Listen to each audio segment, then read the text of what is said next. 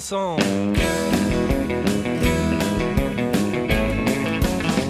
Écoutez et répétez.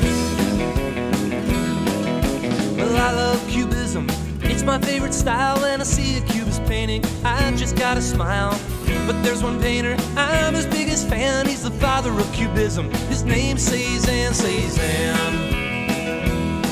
Cezanne, Cezanne, the father of cubism.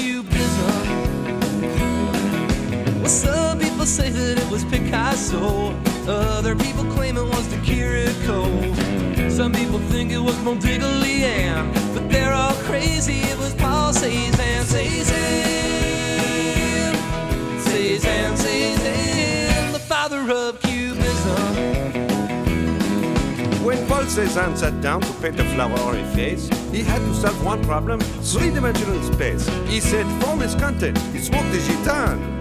He was right. Now he's Paul Cézanne.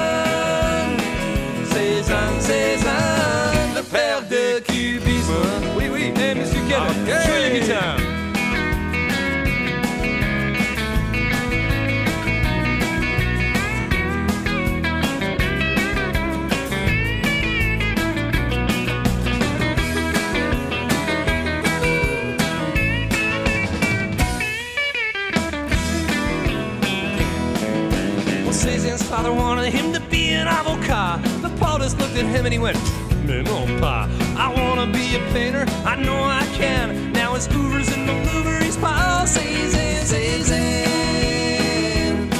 Cézanne, Cézanne, the father of cubism. Well, I had an aunt, and she was in a coma. So we loaded up her bed got through the door, you wouldn't believe what began. She sat up and started screaming, Hey, where is that Paul Cézanne? Cézanne, Cézanne, the reckless father of cubism.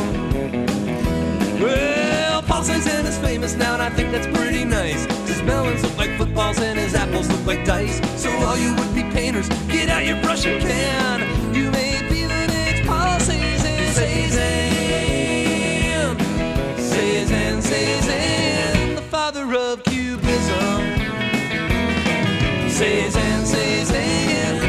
Original father of cubism.